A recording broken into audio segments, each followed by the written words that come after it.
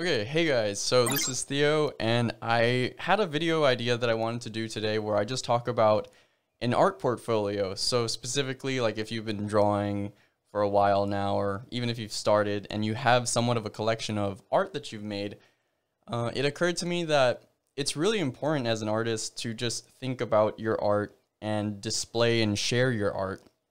Uh, so, one thing that gave me confidence a while back was putting together a lot of my sketches and printed out works that I've done for commissions over the years and put that into a binder and just looked at it. And like for some reason, it took me a while to just do that and then think to myself like, wow, this is this is what I accomplished. This was these are pieces of art that I can hold that are tangible that I made because sort of as a digital artist, you're always on a screen you're not using traditional mediums and I really don't see the difference in creating something digitally or physically, but there's something about when you have a sketchbook or you check out an artist's sketchbook, seeing something on paper about it just is very impactful other than just, you know, scrolling through Twitter or whatever and just checking out art on your phone, giving it a like or whatever.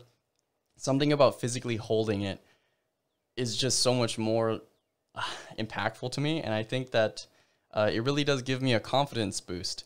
So when I see uh, artwork in that kind of physical medium, I, I, get way more pride and not to get too narcissistic, but I, I feel very proud that this is these are like the, the sort of landmarks for like over the years this is what I accomplished and put out into the world.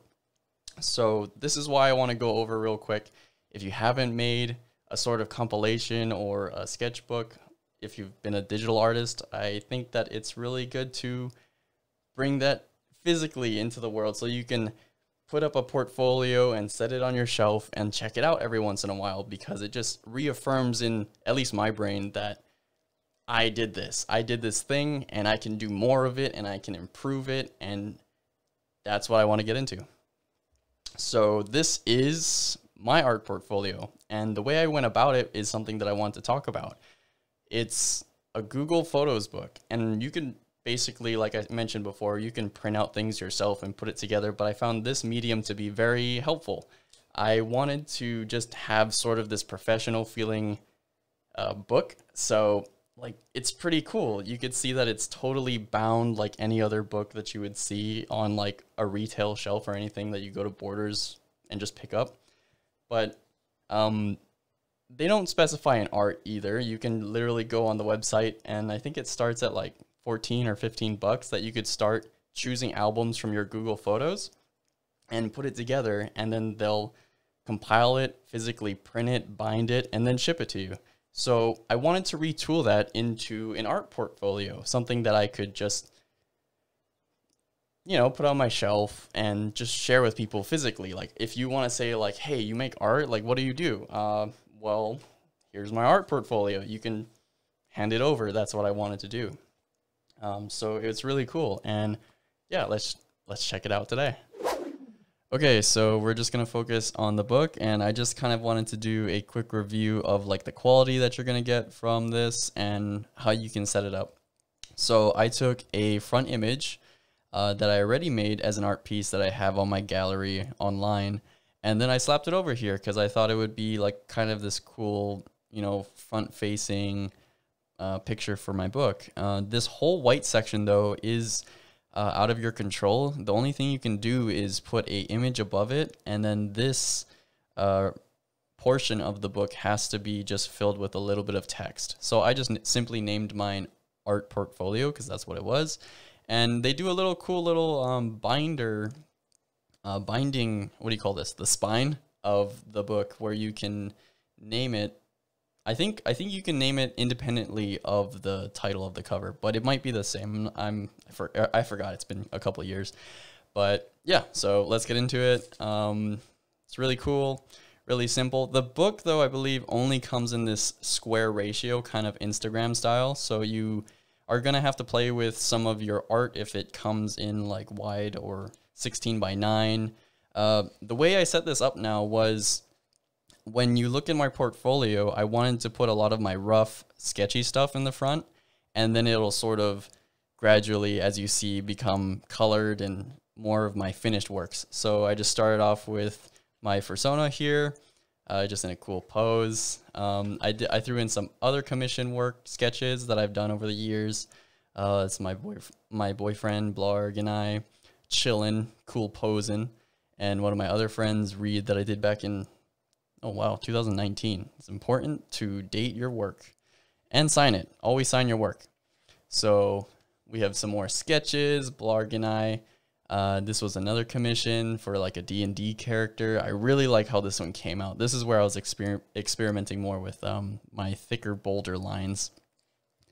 Uh, but you can also see like they are squares, but I just resized the image digitally to fit perfectly on the page. And yeah, this also gives you an idea of the print quality that you can see uh, on each page and how well the darkness comes out. I mean, I'm recording on a 1080p webcam at the moment, but I think it shows just enough of the quality to see what you're going to get. Uh, so some more sketches over the years. Uh, let's see. Uh, just and my idea behind this was again just showing like the person who ooh I like this one it this one I, I like how it came out because the idea was just to go for like sort of this Blade Runner movie scene action scene on a motorbike. Oh, I love how that came out. Uh, so there, yeah. Anyway, back to the main idea of the the flow of how I organized this book was to just show people like how I go about my creative process. Like I have some sketches in the beginning, and then for bigger projects, you can see like I even included uh, some really rough thumbnails so that you could see how I formulate my ideas. I usually make uh, two to three thumbnails for larger pieces. Uh, here's a title card that I use for my podcast. Uh, and there are some days also where I'm on Twitter where I'll ask fursuiters or just furries in general for uh, you know some cute poses of their fursuits, and then I do a little study of their pose and their character, and then I'll just try to sketch that out as a warm up. I really enjoy doing these, so uh, yeah, I did a couple of them here. Uh, I really, for some reason, I don't even drive motorcycles or have a motorcycles license, but I always love how they look. They look so cool. So I threw my Sona on there looking pretty cool and riding on it. Uh, some more, some more just like random like playful idea things that I don't do. They're mostly one-offs. So these are just screen grabs of like some like this character I drew from I think it was a Flashgitz uh, YouTube video that I screenshotted and then just drew the cute version of the Sona they made fun of. Um, I love it so much. Uh, and then here's some more like lineless work that I that I do. You can see it before and after, and just more like single characters. I love drawing. If you can, if you couldn't tell it right now, I just mostly like drawing single character poses and stuff. Uh, and then you can see like more of the finished work now, where we're getting more into like sort of flat illustration territory here. Uh, so, uh, yep, got more cool poses for you. And I like to do simple backgrounds because I like to focus mostly on the main character here. Uh, yeah, that's that's what I like to do. So, oh, this is a cute one. This was an icon piece for a couple uh, from some of my friends. Uh, and then my Sona, of course. Can't draw enough of my boy, my floofy boy. Uh, and more into okay, so this is actually bringing up a point that I learned after the fact of when I ordered this book. Uh, you can see that these images are somewhat pretty dark. And on my computer screen, though, they're obviously a lot brighter because they're lit by pixels on a screen. Uh, when when you're doing physical mediums, uh, printing isn't always going to show the exact the exact black point of an image. So keep that in mind if you have somewhat of a dark image like these because they will show up much darker when you physically print them other than just looking at it on your phone or a tablet or something. So what I could do to correct this was to take the image and then edit the contrast and brightness before I submit these images to print. And that's a lot of the cases with um, figuring out what are the right settings. It's just this trial and error process when you are submitting things to print physically. Um, manufacturers have a lot of different settings, and and you even if you're printing out your own stuff personally to sell, it's really important to think about what is the finished product going to look like once you print it because it it will always pretty much change. Uh, so these are all the things that I learned after the fact. So you can still see here, yeah, very dark, but I still wanted to show um, some of my earlier commissions back in, I think this was, yeah, 2019. A lot of cute couples in this one. Uh, some character ref sheets that I've done before. Uh, I like. I I used to really like doing these because uh, when somebody needs a character design that they have in their head, they can just submit to me the idea, and then I just try to bring it to life the best they can, the best that I can in a style that they like from me. So these are always fun to do because it also means that I can biasly create something that uh, will make more art for the, the client. So they can submit this to other artists and then they'll make more art of their really cool Sonas. So that's what I really like doing. Another character ref here. Uh, my boyfriend's Daki that I made. So I put I put one image here on the front of the of the front of the Daki, and then on the back. I, I really do like how this came out. This was my first attempt at a Daki. Uh, so this is also my boy that I made a badge for, uh, for a cyberpunk themed uh, convention that was coming up that I sadly had to miss because of the pandemic. But uh, anyway, I, I still really like the cyberpunk aesthetic, so that's what I tried to do here. Uh, let's see. Uh, this one I just included because it's on the front of the cover, and this is the full piece. So you can see, like, I, I wanted to do this clash of, like, oh, my human side and my, you know, silly dog side. That's, uh, I don't know if it's a bit edgy or whatever, but I thought it was pretty fun. Um, yeah and some more commission work, icon commissions that I've done for people over the years. Um, there you go. And yeah, you can get an idea of like for most of these pictures in this book, the the pages are a bit glossy, so you can see a bit of the sheen coming off of the the bend of the page. But overall, it oh that was my poster falling.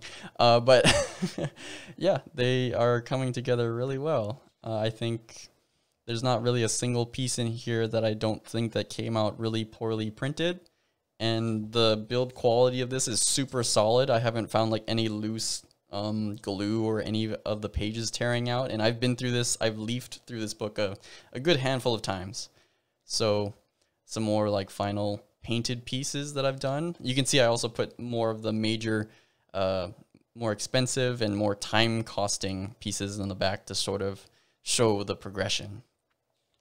So yeah, some personal one-off pieces that I've done, just like an ice wolf and a fire wolf that I wanted to do one day as just like a cool contrast. Uh, let's see.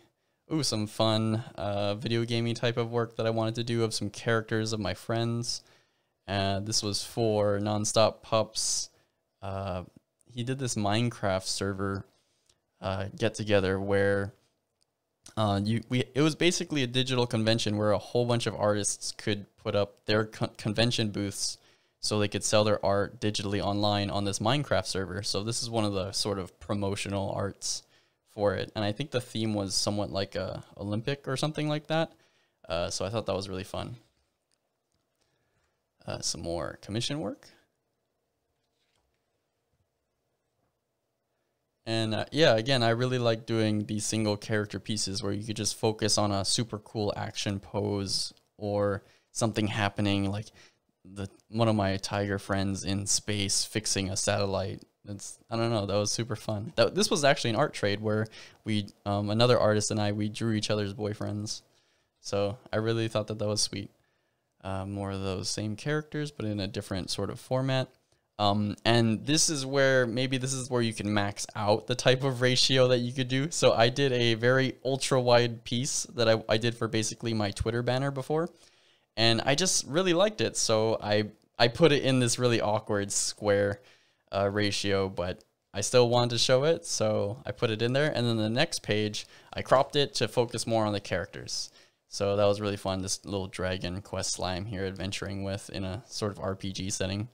And yeah, that is that. Um, in a way, I could have reserved maybe the the front uh, pages for like an index just to show uh, how I could have organized this better. But yeah, simply put, um, I really like the quality of this book and how it came out. So there you guys go. So there you have it. I hope you guys uh, like this sort of idea and how it could be improved upon. I would really like to know if uh, you guys have any other formats or sort of mediums to showcase your art in like fun and creative ways. So yeah, I hope you guys enjoyed and I'll see you in the next video. Bye.